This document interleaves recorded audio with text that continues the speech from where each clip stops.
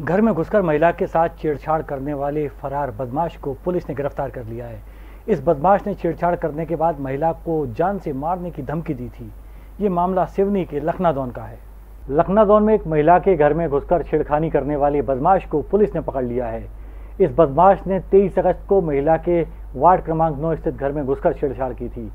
शिकायत दर्ज कराते हुए महिला ने पुलिस को बताया था कि विश्राम पटेल ने उसे घर में अकेला देखकर बुरी नीयत से छेड़छाड़ की और पति एवं परिवार के लोगों को बताने पर जान से मारने की धमकी दी।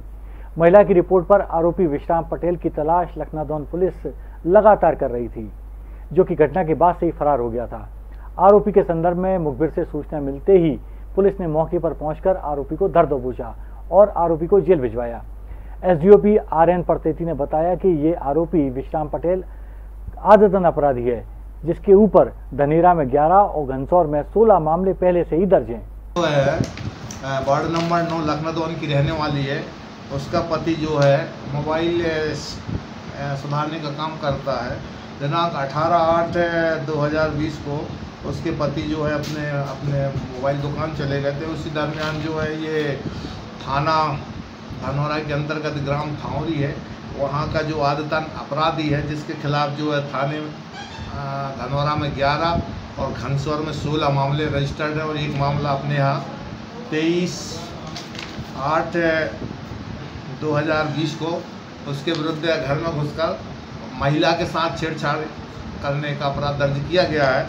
आरोपी घटना के बाद से फरार था जिसे आज गिरफ़्तार कर माननीय न्यायालय पेश किया गया है।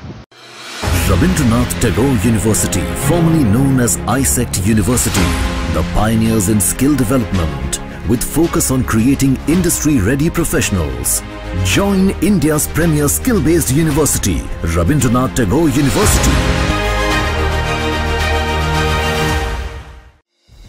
संगीत की स्वर लहरियों से सांस्कृतिक ताने बाने तक चंबल के पीड़ों से नक्सलवादियों के गढ़ तक झोपड़ी से महलों तक ठेलों से मेलों तक पगडंडियों से सड़कों तक गाँव से शहरों तक व्यापार से उद्योगों तक। राजनीति से कूटनीति तक। दखन न्यूज़।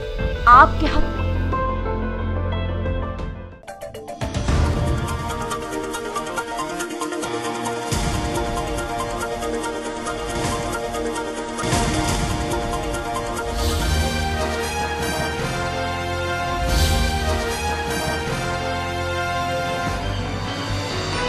आप देख रहे हैं दखल न्यूज़।